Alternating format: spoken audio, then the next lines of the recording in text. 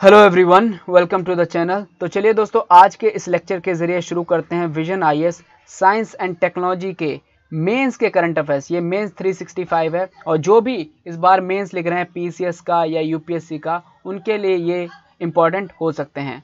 तो science and technology में देखिए जो पहला टॉपिक है, वो है एमर्जिंग टेक्नोलॉजीज़ एमर्जिंग टेक्नोलॉजीज़ में आज हम टोटल तीन टॉपिक्स को कवर करने की कोशिश करेंगे. National strategy on blockchain non fungible tokens और क्वांटम टेक्नोलॉजी इनको कवर करते हैं। लेकिन उससे पहले दोस्तों, अगर आपने हमारे चैनल को अभी तक सब्सक्राइब नहीं करा तो प्लीज़ कीजिए और वीडियो को लाइक करना मत भूलिए। ठीक है? हमारा जो पहला टॉपिक है, वो है कौन सा? एक सेकेंड दोस्तों। पहला हमारा नेशनल स्ट्रेटजी ऑन ब्लॉकचेन समझते हैं ये national strategy on blockchain news में क्यों आ गया? National strategy on blockchain has been formulated by Ministry of Electronics, Information and Technology जो जो हमारी दोस्तों Ministry of Electronics और Information Technology है। इसने हाल ही में नेशनल स्ट्रेटजी बनाई है किस चीज़ के ऊपर? ब्लॉकचेन के ऊपर। इसी वजह से टॉपिक न्यूज़ में आ गया ब्लॉकचेन का। अब समझ लेते हैं भाई ब्लॉकचेन होता क्या है। देख लीजिए यहाँ पे समझ लीजिए। ब्लॉकचेन कुछ नहीं होता दोस्तों ब्लॉकचेन लिस्ट होता है रिकॉर्ड्स का। जो भी ट्रांजेक्शन आप वगैरह करते हो ना ऑनलाइन में जैसे कि लेजर हो गया दैट कीप्स ग्रोइंग मोर और मोर एंट्रीज आर एडेड तो जैसे, देखिए ब्लॉकचेन जो है इंक्रीज होता रहेगा। इसका साइज़ जो है इंक्रीज होता रहेगा। जैसे जैसे इसमें और एंट्रीज ऐड होते रहेंगे तो तो इसका जो साइज़ है इंक्रीज होता रहेगा। तो समझ में आ गया ब्लॉकचेन क्या है? ब्लॉकचेन कुछ नहीं है। रिकॉर्ड होता है या लिस्ट होता है लिस्ट ऑफ़ रिकॉर्ड्स होता है ट्रांजेक्शन का जो भी आप करते हो, ठीक है? विच इज़ डिस्ट्रीब्यूटेड और जो ब्लॉकचेन हो, है, ये याद रखिए डिस्ट्रीब्यूटेड होता है, ठीक है? Copies of entire database are stored on multiple computers देखिए, ज़्यादातर गवर्नमेंट जो भी ट्रांजेक्शन करती है, क्या उसको एक जगह पे इकट्ठा करके रखती है? लेकिन ब्लॉकचेन में ऐसा नहीं होता। ब्लॉकचेन में जो भी ट्रांजेक्शन होते हैं, वो मल्टीपल कंप्यूटर कह लीजिए या नेटवर्क कह लीजिए, उन पे अवेलेबल रहता है, ठीक है? Sync syncing with the minutes seconds तो जब भी आप ट्रांजेक्शन करते रहते हो, वो सिंक होता रहता है मिनट्स और ट्रांजेक्शन के साथ अलग अलग डिफरेंट डिफरेंट क्या? मल्टीपल कंप्यूटर्स पे या नेटवर्क पे जो डाटा है, वो इकट्ठा होता रहता है। एडजस्टेबल ट्रांसपेरेंट तो ब्लॉकचेन जो है, इसको आप एडजस्टेबल कर सकते हो, देख लीजिए। Records stored in the database में be made visible to relevant stock holders तो अगर आप जो डाटा ब्लॉकचेन पे अवेलेबल है, आप चाहते हो कि ये रेलिवेंट स्टेक होल्डर्स को देखे, ठीक है? तो बिना विदाउट रिस्क ऑफ़ ऑल्ट्रेशन तो वो भी आप कर सकते हो। कहने का मतलब है, देखिए, जो भी एक बार डाटा आ गया ब्लॉकचेन पे वो थर्ड पार्टी देख लेगा उस डाटा को लेकिन उस डाटा को ना ऑल्टर नहीं कर पाएगा। तो ये बहुत अच्छी फ़ायदा है ब्लॉकचेन का कि भाई आपने कोई भी ट्रांजेक्शन करा कोई भी आ, मतलब ट्रांजेक्शन करा या रिकॉर्ड करा ऑनलाइन आप वो थर्ड पार्टी आपके ट्रांजेक्शन को देख सकती है तो वो उसको लेकिन चेंज नहीं कर सकती। यही तो फ़ायदा है दोस्तों ठीक है? इससे ट्रांसपेरेंसी बनी रहेगी समझे कि नहीं समझे? हाईली सिक्योर है जो ब्लॉक चेन है बहुत ज़्यादा सिक्योर है इसको मैंने बता रखा है ना कोई ज़्यादा तोड़ फोड़ नहीं सकता। मेलिशियस एक्टर जैसे कि हैकर हो गया can no longer just attack one computer and change any records मैंने बता दिया इनको जो ब्लॉकचेन पे जो रिकॉर्ड्स हैं, उनको बदलना नामुमकिन है लगभग। तो ये बहुत फ़ायदा है। And immutable the mathematical algorithm makes it impossible to change delete any data once recorded and accepted तो एक बार अगर डाटा ब्लॉकचेन पे रिकॉर्ड हो जाता है एक्सेप्ट हो जाता है तो उसके बाद ना तो उसको डिलीट करना बहुत आसान होता है और ना ही उसको बदलना आसान होता है। तो आई होप आपको समझ में आ गया होगा ब्लॉकचेन क्या होता है। अब ब्लॉकचेन टेक्नोलॉजी का थोड़ा सा ओवरव्यू देख लेते हैं जल्दी जल्दी। तो ब्लॉकचेन में बता चुका हूँ, एक डिस्ट्रीब्यूटेड या डिसेंट्रलाइज लेजर टेक्नोलॉजी होती है, ठीक है? तो आप ये जो टेक्नोलॉजी है लेजर टेक्नोलॉजी ये अमलगमेशन है वेरियस टेक्नोलॉजीज़ का। मतलब बहुत सारी टेक्नोलॉजीज़ को मिलाकर ये टेक्नोलॉजी बनी है। बहुत सारी टेक्नोलॉजी कौन कौन सी? ठीक है? Such as distributed system cryptography बहुत सारी टेक्नोलॉजी को मिलाकर क्या बना है? ये ब्लॉकचेन टेक्नोलॉजी बनी है। डाटा और जो भी ट्रांजेक्शन स्टोर करे जाते हैं इन पे ब्लॉक्स पे, वो बहुत ज़्यादा सिक्योर्ड होते हैं टेम्परिंग के, इन्हें कोई टेम्पर नहीं कर सकता, ठीक है? Using cryptographic hash algorithm and are validated and verified through the consensus और जो भी डाटा वगैरह होता है ब्लॉकचेन पे, वो कंसेंसस के, ठीक है? उसके थ्रू वैलिडेट करा जाता है और वेरीफाई करा जाता है। मैंने बताया ना, एक बार आप जो भी डाटा क्रिएट कर दोगे, वो कंसेंसस के थ्रू क्या होगा? वैलिडेट करा जाएगा और वेरीफाई करा जाएगा, फिर उसको कोई भी मॉडिफाई नहीं कर पाएगा। कंसेंसस प्रोटोकॉल भी कहा जाता है इसको across nodes of the blockchain network तो ये ओवरव्यू देख लीजिए देख लिया आपने फ़ायदा देख लिए। अब देख लीजिए यहाँ पे वो पिक्चर बना रखी है कि कैसे ब्लॉकचेन वर्क करता है। तो वही मैं बता रखा हूँ बहुत सारे नेटवर्क जो है आ, मिल जाते हैं ठीक है? तो उन्हीं के, के ज़रिए क्या बनता है? बहुत सारे नेटवर्क बहुत सारा डाटा इकट्ठा हो जाता है उसी के ज़रिए क्या होता है? ब्लॉकचेन बनता है ठीक है? Client initiate the transaction client ने किसी ने ट्रांजेक्शन इनिशिएट करा फिर पेयर टू पेयर नेटवर्क पे जाएगा इसके बाद क्या होगा? उसका वैलिडेशन हो जाएगा वैलिडेशन हो गया ठीक है तो एक क्या बन गई? ब्लॉक चेन बन गई बन गई? Verification and adding to the ledger तो जो भी वेरिफिकेशन हो गया, एक बार वैलिडेशन का, फिर वो क्या हो गया? ब्लॉक चेन का ही पार्ट बन गया। Stake holders verify the transaction details ठीक है? सिग्निफिकेंस देख लीजिए ब्लॉकचेन का। फ़ायदा क्या है? ब्लॉकचेन के बहुत सारे फ़ायदा हैं। पहला तो मैं बता दिया, ये डिसेंट्रलाइज मैकेनिज्म है। Blockchain technology provides efficient distributed ledger storage mechanism तो मैंने बता दिया ना, इसमें जो डाटा हर किसी के पास अवेलेबल होगा। इसके अलावा ये ट्रांसपेरेंसी लेके आता है और एफिशिएंसी लेके आता है। इंक्रीज करता है प्रोसेसिंग स्पीड को और रिड्यूस करता है कॉस्ट को भी। ठीक है? ये फ़ायदा है। फ्रॉड प्रिवेंशन इस पर फ्रॉड करना बहुत मुश्किल होता है। It is extremely difficult to get access to it and if so any piece of information can be easily recovered ठीक है? Applicability in diverse domain blockchain का जो एप्लीकेशन है वो अलग अलग डोमेन है में, है। जैसे कि आप ब्लॉक चेन का इस्तेमाल एजुकेशन में कर सकते हो गवर्नेंस में फाइनेंस में banking health care logistics cyber security media media legal power बहुत सारे सेक्टर्स में भी ब्लॉकचेन टेक्नोलॉजी का इस्तेमाल आजकल होता भी है। एग्ज़ाम्पल ऑफ़ पोटेंशियल एप्लीकेशन देख लीजिए कौन कौन से एग्ज़ाम्पल है जहाँ पे ब्लॉक चेन का इस्तेमाल हो रहा है। पहला है ई e गवर्नेंस में ई e गवर्नेंस में कैसे इस्तेमाल कर सकते हो?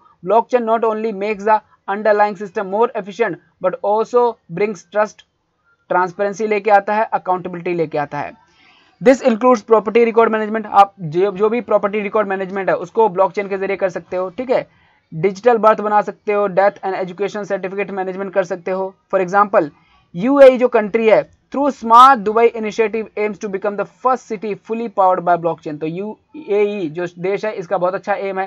दोस्तों, ये फुली पावर्ड ब्लॉकचेन सिटी बनना चाहते हैं दोस्तों। काफ़ी अच्छी बात है। और कहाँ कहाँ पोटेंशियल है इसका? बैंकिंग में देख लीजिए। Blockchain can help in avoiding risk of payment losses आपको पता है, बहुत सारे अभी जब आप पेमेंट करते होगे ऑनलाइन वगैरह, उनका लॉसेस हो जाता है फ्रॉड हो जाता है बहुत ज़्यादा। लेकिन अगर आप ब्लॉक चेन टेक्नोलॉजी का इस्तेमाल करते हो तो मैं बता चुका हूँ, पहली बात तो सारा का सारा डाटा जो है वैलिडेट होगा, फिर सबके पास इन्फॉर्मेशन पहुँच जाएगी। तो इसमें जो फ्रॉड करना वो काफ़ी मुश्किल हो जाएगा, ठीक है? रिड्यूस कर रिड्यूस करता है क्रॉस बॉर्डर ट्रांजेक्शन फ़ीस इनको इनकॉर्पोरेट करता है पेमेंट्स एंड रेमिटेंसेस को। अगला जगह है, वो है सप्लाई चेन में भी मदद करता है। देख लीजिए blockchain can create tamper proof record to check the real time information about product journey from place to high origin to destination place improving the reliability of efficiency of the supply chain तो obviously आपको पता चल जाएगा ये transaction कहाँ से कहाँ हुआ है। तो सप्लाई चेन में भी मदद करता है। हेल्थ केयर में मदद करता है। By establishing a secure chain of network blockchain के help in handling the patient record. अभी देखिए ना, अभी जब आप डॉक्टर से मिलने जाते होंगे तो आपका जो रिकॉर्ड है, जो इतनी सारी पर्ची आपके पास इकट्ठा हो जाती होंगी। आपको खुद नहीं पता होता कि वो डॉक्टर ने कौन सी पर्ची बनाई है क्या दवाई लिखी थी, कुछ नहीं। लेकिन सपोज़ मान लीजिए ना, हेल्थ केयर में ना, जो डॉक्टर है, वो आपका सारा का सारा डाटा जो है ब्लॉकचेन पे लिख रहा है। तो ब्लॉकचेन के ज़रिए क्या? वो पूरा का पूरा रिकॉर्ड बना रहेगा आपका कि इसको पहले बीमारी कौन सी थी, इसकी कौन कौन सी दवाई दी गई, फिर कौन से डॉक्टर ने इलाज करा। तो काफ़ी अच्छी मदद मिलेगी ब्लॉकचेन का अगर हम इस्तेमाल करते हैं हेल्थ केयर में। और काफ़ी जगह इस्तेमाल हो रहा है एक्चुअली ठीक है? बिलिंग में मदद करेगी पब्लिक हेल्थ मॉनिटरिंग में मदद करेगी ई कोर्ट्स में भी मदद कर सकता है ब्लॉकचेन देख लीजिए डाटा फ्रॉम मल्टीपल एंटिटीज जैसे कि पुलिस जुडिशरी लीगल डिपार्टमेंट देखिए, अभी अगर किसी बंदे पे भी केस चलता है, किसी बंदे पे भी केस चलता है तो पुलिस के पास कुछ और डाटा होता है जुडिशरी के पास कुछ और डाटा होता है लीगल डिपार्टमेंट के पास कुछ और डाटा होता है, लेकिन अगर हम ब्लॉकचेन का इस्तेमाल करें तो सारा का सारा डाटा जो है इंटीग्रेट हो जाएगा वैलिडेट हो जाएगा वेरीफाई कर सकते हो, उसके हिसाब से उसके ऊपर क्या केस बनेगा, क्या केस नहीं बनेगा, अच्छे से चला सकते हो। दोस्तों नेशनल ब्लॉकचेन फ्रेमवर्क भारत ने तैयार करा है क्या करा है? नेशनल ब्लॉकचेन फ्रेमवर्क तैयार करा है और इसके तहत हम लोगों ने, भारत ने ना स्ट्रेटजी और आउटकम तय करे हैं। अगले पाँच सालों के लिए कि हम ब्लॉकचेन में क्या क्या स्ट्रेटजी अपनाएँगे और क्या क्या हम लोग टारगेट अचीव करेंगे। देख लीजिए, पहली बात तो हम लोगों ने ये नेशनल ब्लॉकचेन फ्रेमवर्क बनाया क्यों है, इसकी नीड क्या पड़ गई? तो बहुत सारी रिपोर्ट जो है प्रिडिक्ट कर रही है कि 2030 तक जो ब्लॉकचेन है, इसको इस्तेमाल करा जाएगा फाउंडेशनल टेक्नोलॉजी के इस्तेमाल तौर पर, ठीक है? फाउंडेशनल टेक्नोलॉजी के तौर पर इस्तेमाल करा जाएगा for 30 percent of global customer base समझे समझे? जितने भी ग्लोबल कस्टमर बेस हैं, उसमें 30 परसेंट जो है ब्लॉकचेन टेक्नोलॉजी का इस्तेमाल होगा। तो इस वजह से हम लोगों ने ये नेशनल ब्लॉकचेन फ्रेमवर्क बनाया ताकि हम लोग भी इसमें आगे बढ़ सकें। प्लान क्या है? देख लीजिए। Ministry of information technology has initiated a project on design and development of the national blockchain technology framework तो इसको लेकर मिनिस्ट्री ऑफ़ इंफॉर्मेशन टेक्नोलॉजी ने ऑलरेडी प्रोजेक्ट को है डिज़ाइन कर रखा है डेवलपमेंट कर रखा है कि कैसे हम नेशनल ब्लॉकचेन फ्रेमवर्क को आगे बढ़ाएँगे for creation of share blockchain infrastructure and offering blockchain as services समझे समझे? जिसको शॉर्ट में बास कहा जाता है। This framework comprises following components of the multi prong strategy तो ये जो फ्रेमवर्क बनाया है अभी मिनिस्ट्री ऑफ़ इंफॉर्मेशन टेक्नोलॉजी ने, इसमें कौन कौन से कंपोनेंट्स हैं, उनको देख लीजिए कौन कौन से कंपोनेंट्स है। पहला कंपोनेंट है जियोग्राफिकली डिस्ट्रीब्यूटेड नोट्स मतलब ये है कि जो ब्लॉकचेन है, इसका हम जो इस्तेमाल है अलग अलग जगह पे करेंगे। देखिए, देख, ठीक है? तो कहने का मतलब है रूरल में भी अर्बन में भी, हर जगह पे across the country to enable citizen service at large scale and enable cross domain application तो अलग अलग डोमेन में भी, जैसे कि हेल्थ केयर में भी इस्तेमाल करेंगे लोग एग्रीकल्चर में भी इस्तेमाल करें एजुकेशन में भी फाइनेंस में। तो जोग्राफिकली डिस्ट्रीब्यूट कर रखे हमने नोट्स को। समझे कि नहीं समझे? इसके अलावा दूसरा कंपोनेंट है to design and develop an indigenous blockchain platform तो हम दोस्तों इस फ्रेमवर्क के ज़रिए भारत में खुद का इंडिजिनियस ब्लॉकचेन प्लेटफॉर्म भी डेवलप करना चाहते हैं। देख लीजिए incorporating identified best practices and advance technology feature ठीक है? तो अपने ऑब्वियसली इनकॉर्पोरेट करेंगे बेस्ट प्रैक्टिसेस को एडवांस टेक्नोलॉजीज़ को, ताकि हम खुद का ब्लॉकचेन प्लेटफॉर्म भी डेवलप कर सकें। इसी फ्रेमवर्क के ज़रिए इंटीग्रेट करना चाहते हैं with important national level services जैसे कि ई प्रमाण डिजी लॉकर इनके साथ दो तो ब्लॉकचेन को क्या करना चाहते हैं? इंटीग्रेट करना चाहते हैं। अवेयरनेस क्रिएशन भी करवाना इसी फ्रेमवर्क का एम है है ना? जो फ्रेमवर्क बनाया है ना, उसके तहत हम अवेयरनेस भी फैलाना चाहते हैं। किसके अंदर अवेयरनेस फैलाएँगे? पहली बात तो हम लोगों को गवर्नमेंट डिपार्टमेंट में, जुडिशरी में लॉ एनफोर्समेंट एजेंसी में, इनमें अवेयरनेस फैलाने की ज़रूरत है कि आप लोग जो है ब्लॉकचेन टेक्नोलॉजी का इस्तेमाल करो। पॉलिसीज़ और रेगुलेशन भी करेंगे इस फ्रेमवर्क के तहत। The existing regulation and policy would be updated जो भी अभी एग्जिस्टिंग पॉलिसीज़ है ब्लॉकचेन को लेकर उनको अपडेट करा जाएगा। ठीक है? As needed as N B F involve and more experience is gain during the implementation adoption incentives भी दे जाएँगे। अभी फ्रेमवर्क जो बनाया गया ना, उसमें बोला गया कि अगर जो बंदा ब्लॉकचेन टेक्नोलॉजी को अपनाता है तो उसको हम इंसेंटिव्स भी देंगे। देख लीजिए central and state government shall formulate their respective scheme तो बोला गया कि भाई, जो सेंट्रल गवर्नमेंट है स्टेट गवर्नमेंट को है, उनको स्कीम बनानी चाहिए और गाइडलाइंस भी बतानी चाहिए कि जो भी बंदा ब्लॉकचेन का इस्तेमाल करता है गवर्नमेंट डिपार्टमेंट वगैरह, उसको हम क्या करेंगे दोस्तों? इंसेंटिव्स भी देंगे। देख लीजिए detailing out physical and non physical incentive जो भी दिए जाएँगे। इसके अलावा ह्यूमन रिसोर्स डेवलपमेंट भी करा जाएगा फ्रेमवर्क के तहत। देखिए ना, भाई आप ब्लॉकचेन टेक्नोलॉजी का इस्तेमाल कर रहे हो तो ब्लॉकचेन टेक्नोलॉजी का जो इस्तेमाल करेंगे, इसकी वजह से होगा क्या? ह्यूमन रिसोर्स डेवलपमेंट होगा। नई नई लोग चीज़ें सीखेंगे। समझे कि नहीं समझे? तो फ्यूचर में स्किल्स प्राइम प्रोग्राम चलाए जाएँगे, जिसके ज़रिए स्किलिंग रीस्किलिंग करी जाएगी अपस्किलिंग करी जाएगी। इसके अलावा मल्टी इंस्टीट्यूशनल अप्रोच भी अपनाई जाएगी इस फ्रेमवर्क के ज़रिए। क्या है मल्टी इंस्टीट्यूशनल अप्रोच वैसे तो आपको पता ही है कि डिफरेंट डिफरेंट इंस्टीट्यूशन को इन्वॉल्व करेंगे स्टार्टअप्स को इंडस्ट्रीज़ को अकेडमिक रिसर्च को। ठीक है?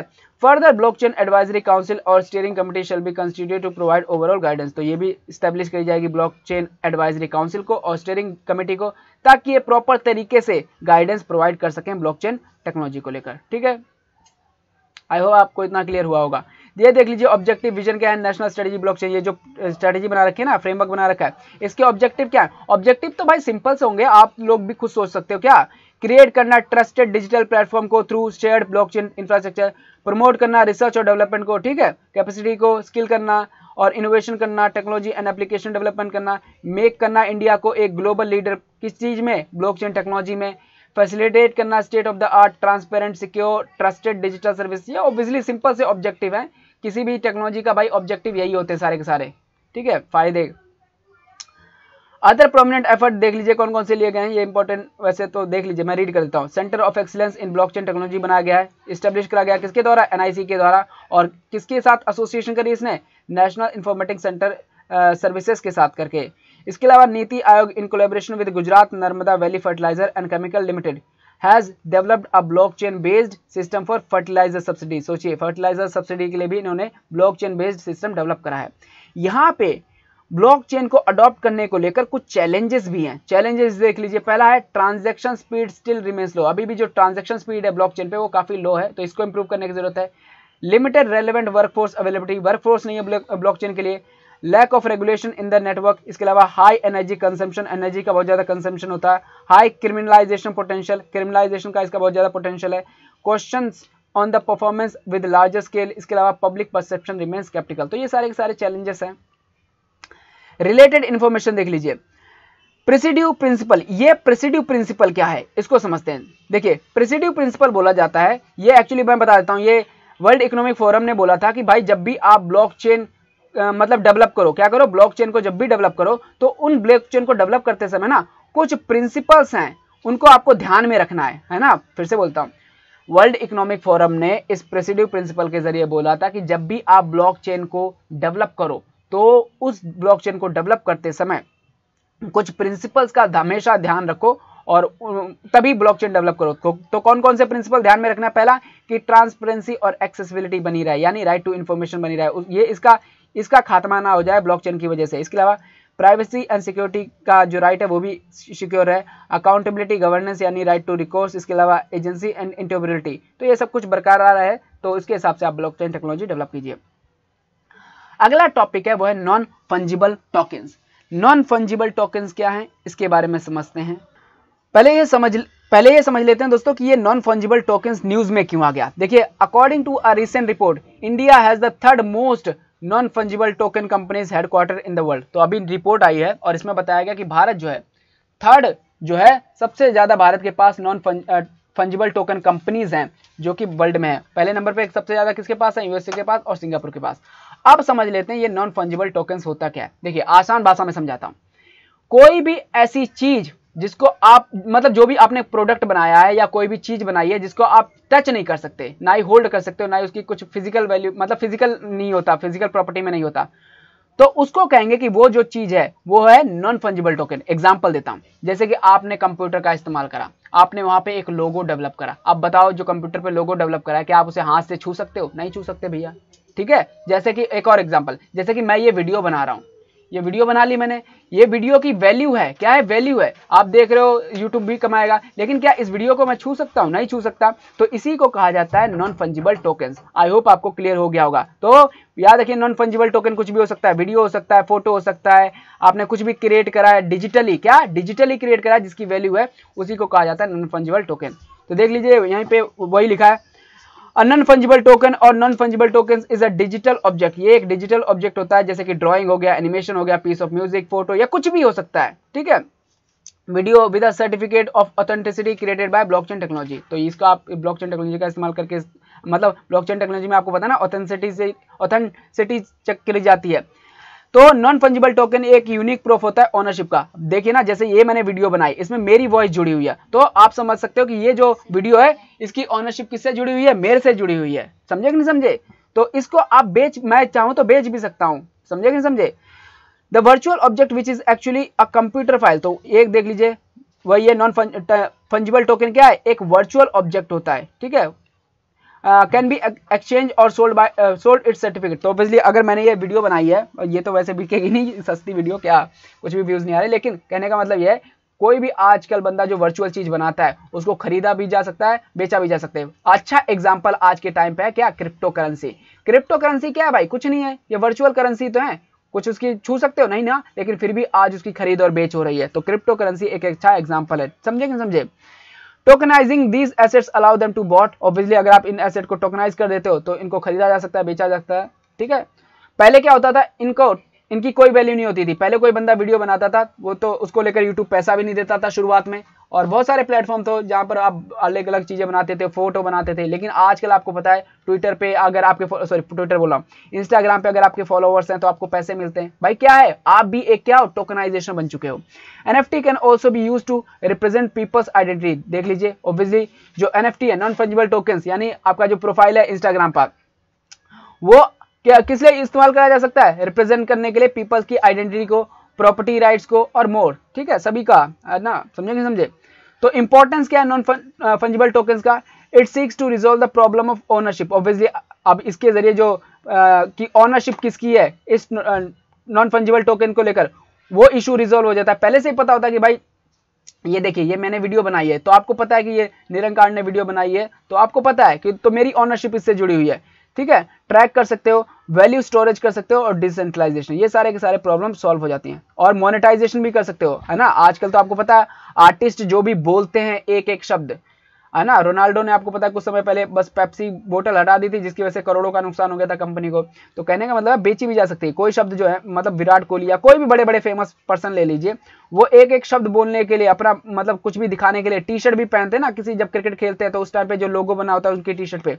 तो उसकी भी बहुत सारी वैल्यू है तो मोनेटाइजेशन करा जा सकता है। देख लीजिए artist musician influencers and sports franchises are using NFTs to monetize digital goods that have previously been cheap और फ्री ऑथेंटिसिटी भी इससे बढ़ती है। अब आपको पता है कि कौन सा चीज़ है किसका है? देख लीजिए contemporary artist can now archive their collection through the blockchain and have NFT to authenticate their works and ensure no fakes exist in the future इसके अलावा protecting intellectual property rights of artisan तो obviously आपको पता है non fungible token के ज़रिए जो intellectual property rights हैं, उसके लिए भारत में कानून भी बने हैं, उनको लेकर भी प्रोटेक्शन मिलती है। Who can use N F to verify their original work तो कंक्लूजन में हम कह सकते हैं कि non fungible token marketplace place exploding आपको पता है, भारत में भी नॉन फंजिबल टोकन मार्केट जो है, ये बहुत ज़्यादा बढ़ रहा है। लोग बहुत सारा कंटेंट क्रिएट कर रहे हैं यूट्यूब पे फेसबुक पे इंस्टाग्राम पे, ठीक है? Surprisingly large amounts are being paid for the NFT work तो ऑब्वियसली इसके लिए बहुत ज़्यादा पैसा पे करा जाता है, जिसके ज़्यादा फॉलोवर होंगे, उसको ज़्यादा पैसा मिलता है। These prices together with the uncertainty of few technologies raise potential legal liability issues of arts creators buyers and marketplace तो देखिए, जब कोई भी मार्केट बड़ी बनती है, जैसे कि नॉन फंजिबल टोकन की मार्केट इतनी बड़ी बन रही है तो इसको लेकर बहुत ज़्यादा इश्यूज़ भी हैं, जैसे कि लीगल लाइबिलिटी इश्यूज़ आ रहे हैं। ठीक है आर्ट क्रिएटर्स के लिए। इसके अलावा बायर्स मार्केट प्लेस इसको लेकर बहुत ज़्यादा इश्यूज़ आ रहे हैं तो इसको रेगुलेट करने की ज़रूरत है। There is a need for government to lay down framework to regulate cryptocurrencies and other digital currency obviously Bharat में भी देखिए ना क्रिप्टो करेंसी को लेकर, कानून बनाने को लेकर चल रही है बात। तो ये सारे को लेकर रेगुलेट करना बहुत ज़रूरी है। To avail its advantage which in the future would be profound obviously देखिए ना नॉन फंजिबल टोकन है। इनके एडवांटेज तो बहुत ज़्यादा है, लेकिन अगर आप इनको रेगुलेट नहीं करोगे पॉलिसी नहीं लाओगे तो आप एडवांटेज वो नहीं उठा सकते। ठीक है? यहाँ पे लिखे हुए हैं इश्यूज़ क्या है? नॉन फंजिबल टोकन के साथ पहला है threat of money laundering obviously आप देखिए ना, कुछ कंटेंट क्रिएट करते हो, उसको बेच दो फ्यूचर किसी और कंट्री में तो इससे क्या होगा? जो भी पैसा आएगा, आप मनी लॉन्ड्रिंग के तौर पे इस्तेमाल कर सकते हो. No legal protection avail to customers in the event of fraud obviously कोई लीगल आप एक्शन नहीं ले सकते, क्योंकि अगर कुछ भी फ्रॉड हुआ है. क्योंकि देखिए ना, भारत में कुछ पॉलिसी नहीं है. लीगल रूल्स नहीं है इसको लेकर. तो मैंने बता दिया लीगल रूल्स और पॉलिसी बनाने की ज़रूरत है, ताकि एक्शन लिया जा सके proper unclear tax implication related to buying of NFT with the cryptocurrencies obviously tax नहीं मिलता सरकार को क्योंकि रूल्स रेगुलेशन नहीं है। Not eco friendly each N F T transaction on the Ethereum network consumes the equivalent of the daily energy use by two term American household ठीक है? तो बहुत ज़्यादा एनर्जी कंज्यूम होती है। अगला टॉपिक है, वो है क्वांटम टेक्नोलॉजी क्वांटम टेक्नोलॉजी क्या है? इसको समझते हैं। देखिए क्वांटम टेक्नोलॉजी क्या है? तो क्वांटम टेक्नोलॉजी दोस्तों फिजिक्स और इंजीनियरिंग की एक एमर्जिंग फ़ील्ड है है ना? एमर्ज होकर आ रही है। समझे कि नहीं समझे? Powered by the principle of defined quantum mechanism आपको पता है क्वांटम मैकेनिज्म जो है फिजिक्स का ही एक सब फ़ील्ड है। फिर से बता दूँ क्वांटम टेक्नोलॉजी क्या है? ये एमर्जिंग फ़ील्ड है ऑफ़ फिजिक्स और uh, किसकी? दोस्तों इंजीनियरिंग की। ठीक है? और ये एक्सप्लेन करती है nature and behaviour of matter फिर से बोलता हूँ क्वांटम टेक्नोलॉजी क्या एक्सप्लेन करती है? नेचर को और बिहेवियर ऑफ़ मैटर और एनर्जी का ऑन द एटॉमिक और सब एटॉमिक लेवल के ऊपर. ठीक है? आई होप आपको इतना क्लियर हुआ होगा. तो आई होप आपको दोस्तों समझ में आ गया होगा क्वांटम टेक्नोलॉजी क्या है। फिर से बोलता हूँ क्वांटम टेक्नोलॉजी के ज़रिए ये क्वांटम टेक्नोलॉजी जो है एक्सप्लेन करती है नेचर और बिहेवियर किस चीज़ का? मैटर का एनर्जी का ऑन द एटॉमिक और सब एटॉमिक लेवल के ऊपर. अब देखिए, आपको अगर एनर्जी मैटर, इनका सबका नेचर पता चल गया है। क्या भी क्या भाई नेचर क्या है? क्योंकि एनवायरनमेंट देखिए, आपको एनवायरनमेंट में एनर्जी मैटर हर जगह मिलेगा। तो अगर आप इनका नेचर समझ जाते हो तो आप उनको इस्तेमाल भी कर सकते हो अपने फ़ायदे के लिए। समझे कि नहीं समझे? अब शुरुआत में देखिए ना, लोगों को पता ही नहीं था कि कि मिट्टी का कैसे कैसे इस्तेमाल हो सकता है? है ना भाई? शुरुआत में नहीं पता था जब इंसान जब इवॉल्व हो रहे थे, लेकिन धीरे धीरे समझे कि मिट्टी का बहुत सारे तरीके से इस्तेमाल हो सकता है। लोहे का पता नहीं था कैसे इस्तेमाल हो सकता है, लेकिन फिर इस्तेमाल करने लगे। कहने का मतलब यह है कि जब आप किसी चीज़ के बारे में समझते हो ना तो उसका फिर इस्तेमाल भी करने लगते हो। देख लीजिए पोटेंशियल एप्लीकेशन क्या है? क्वांटम टेक्नोलॉजी के बहुत जगह इस्तेमाल कर सकते हो। पहला है क्वांटम कंप्यूटिंग में। क्वांटम कंप्यूटिंग क्या होता है? Qubits at the is basic unit of information instead of binary bits अभी आपको पता है इन्फॉर्मेशन फैलाने के लिए बाइनरी बिट्स का इस्तेमाल होता है। लेकिन क्वांटम कंप्यूटिंग में क्या होता है? क्यूबिट्स का इस्तेमाल करा जाता है इन्फॉर्मेशन फैलाने के लिए। समझे कि नहीं समझे? तो ये फ़ायदा है। दूसरा है क्वांटम कम्युनिकेशन के लिए। Users quantum bits typical photons of lights and transmitting data along optical cables तो आपको पता है ऑप्टिकल केबल वगैरह बिठाई जा रही है। बिछा, बिछाई जा चुकी है, बिछाई क्या जा रही है? और इनके ज़रिए कम्युनिकेशन स्टेब्लिश करा जाता है। समझे कि समझे? दोस्तों, ठीक है? तो कम्युनिकेशन में इसका इस्तेमाल करा जा सकता है। क्वांटम स्टिमुलेशन में सिमुलेशन में, जैसे कि specifically design quantum computer for the simulating materials और chemical reaction of the physical world ठीक है? उसको समझने के लिए। इसके अलावा क्वांटम सेंसिंग और मेट्रोलॉजी में भी आप इस्तेमाल इसका इस्तेमाल कर सकते हो। जैसे कि यूज़र्स फोटोन्स और इलेक्ट्रॉन्स देख लीजिए, फिर से बोलता हूँ। क्वांटम सेंसिंग और मेट्रोलॉजी में क्या होता है? इसमें फोटोन्स और इलेक्ट्रॉन्स का इस्तेमाल होता है as highly sensitive sensor to measure of forces gravitation electrons field वगैरह, ठीक है? तो इसमें क्वांटम टेक्नोलॉजी का इस्तेमाल होता है। क्या मेजर करने के लिए? क्या मेजर करने के लिए दोस्तों? इसमें मेजर किया जाता है फोर्सेस किस चीज़ की? ग्रेविटेशन की इलेक्ट्रिक फील्ड्स की, इन सबको समझने के लिए दोस्तों, ठीक है? अब देख लेते हैं सिग्निफिकेंस क्या है क्वांटम टेक्नोलॉजी देखिए सिग्निफिकेंस मतलब फ़ायदा बहुत सारा है। पहला है staying ahead of the disruption and achieving a beginners beginners edge in the emerging field तो आपको पता है क्वांटम जो टेक्नोलॉजी है, अगर हम इसमें महारत हासिल कर लेते हैं तो देशों से आगे निकल सकते हैं। Preparing for tackling national security तो आपको पता है क्वांटम जो है, इसमें बहुत सारे देश जो है, आगे बढ़ रहे हैं क्वांटम टेक्नोलॉजी में। तो अगर हम लोगों को भी आगे बढ़ना है, और नेशनल सिक्योरिटी का जो रिस्क है, उससे बचना है तो हम लोगों को भी क्वांटम टेक्नोलॉजी में इंप्रूव करना पड़ेगा। बूस्ट करना पड़ेगा ट्रांसनेशनल रिसर्च को। इसके अलावा फोस्टरिंग इकोनॉमिक ग्रोथ ये ऑब्वियसली ये देखिए सॉरी बूस्ट करेगा ट्रांसनेशनल रिसर्च को तो ये फ़ायदा है। इसके अलावा फोस्टर करेगा इकोनॉमिक ग्रोथ को। ऑब्वियसली फ्यूचर में मैं बता चुका हूँ क्वांटम टेक्नोलॉजी का इस्तेमाल हर जगह पे होगा कम्युनिकेशन सब जगह पे। तो इकोनॉमिक ग्रोथ भी मदद कर सकता है, देख लीजिए by developing market for quantum research and development obviously आप क्वांटम की जो रिसर्च एंड मार्केट है रिसर्च और डेवलपमेंट करके मार्केट डेवलप करोगे तो इकोनॉमिक ग्रोथ तो होगी होगी। Software development equipment manufacturing driving societal progress and improving the overall quality of life इसमें भी मदद करेगा एनकरेज करेगा एंटरप्रेन्योरशिप को और स्टार्टअप इकोसिस्टम डेवलपमेंट को। ठीक है? कौन कौन से मेजर लिए गए हैं भारत सरकार के द्वारा क्वांटम इंडस्ट्री को स्ट्रेंथन करने के लिए? तो भारत सरकार ने पहला कदम उठाया है national mission on quantum technology और एप्लीकेशन इसके तहत दोस्तों, भारत ने टोटल बजट कितना लगाया है? आठ हज़ार करोड़ का बजट भी लगाया है। क्वांटम इनेबल्ड साइंस और टेक्नोलॉजी जिसको क्यूस्ट शॉर्ट में कहा जाता है, ये भी इनिशिएटिव चलाया गया है। क्यूसिम क्या है? Quantum quantum computer simulator toolkit भी चलाया गया है। क्वांटम फ्रंटियर मिशन ये सारे का सारा मिशन चलाया गया इसके अलावा setting up of dedicated labs और सेंटर भी बहुत सारे बनाए हैं। भारत सरकार ने क्वांटम टेक्नोलॉजी को लेकर। यहाँ पे कुछ कंस्टेंट भी हैं क्वांटम टेक्नोलॉजी को लेकर। कौन कौन से रुकावटें? पहला है loosely built research ecosystem Bharat में जो रिसर्च सिस्टम है, वो बहुत ही लूजली तरीके से बिल्ट है। With limited participation of private sector तो भाई, बिना पार्ट प्राइवेट सेक्टर के पार्टिसिपेशन के ज़रिए आप टेक्नोलॉजी में इंप्रूवमेंट नहीं कर सकते। तो भाई प्राइवेट सेक्टर का इंप्रूवमेंट मतलब पार्टिसिपेशन करना बहुत ज़्यादा ज़रूरी है। Small pool of skill professional in the field तो बहुत सारे भारत में जो लोग हैं बहुत कम है इस क्वांटम टेक्नोलॉजी में तो उनको इंप्रूव करने की ज़रूरत है। Unstructure research and absence of common platform इसके अलावा absence of indigenous development and critical quantum component ये बहुत रुकावट है। इंडस्ट्री अकेडमिया गैप भारत में बहुत ज़्यादा है। Hindering translation of research into scalable application other issues जैसे कि low patent application lack of protocols for global governance low international collaboration ये भी बहुत बड़ा इशू जुड़ा है, जुड़ा हुआ है। इसके अलावा इनहेरेंट टेक्नोलॉजिकल चैलेंज भाई टेक्नोलॉजिकल चैलेंज भी बहुत सारे हैं। पहला है difficulty in achieving and maintaining the quantum superposition of entanglement long enough to compete a task due to the decoherence इसके अलावा challenge in the upscaling the number of qubits on the processor chips इसके अलावा need of speed special infrastructure तो ये सारे के सारे challenge जुड़े हुए हैं। तो आप वे फॉरवर्ड में क्या लिख सकते हो? भाई, अगर आपको चैलेंजेस पता है तो वे फॉरवर्ड ऑटोमेटिकली वही बन जाएँगे। हम लोगों को क्रिएट करना है डेडिकेटेड क्वांटम कम्युनिटी को। स्टैब्लिश करना है डेडिकेटेड सेंटर फॉर रिसर्च इसके अलावा सेट करना है priorities to safe national security इसके अलावा इफ़ेक्टिव कोऑर्डिनेशन करवाना है हम लोगों को किस किस के बीच में? सेंट्रल और स्टेट गवर्नमेंट के बीच में फोकस करना है focusing efforts on translating translating research into real world भाई, आप जो भी रिसर्च करो, उसको रियल वर्ल्ड में भी ट्रांसलेट करो। फैसिलिटेट करो इंटरनेशनल कॉपरेशन भाई इंटरनेशनल कॉपरेशन करना बहुत ज़रूरी है। प्रमोट करना है domestic manufacturing facilities and units को for development of the quantum computer components और रिविजिट करना है रिविजिट एंड रीवर्क करना है नेशनल पॉलिसीज़ जैसे कि military doctrine ethnic ethical guidelines इनको भी हम लोग को रिविजिट करने की ज़रूरत है। तो दोस्तों, आज का यही लेक्चर रोकते हैं। अगला टॉपिक है क्वांटम की डिस्ट्रीब्यूशन इसको अगले लेक्चर में कवर करेंगे। अगर आपको ये लेक्चर पसंद आया तो लाइक कीजिए और चैनल को सब्सक्राइब करना मत भूलिए। मिलते हैं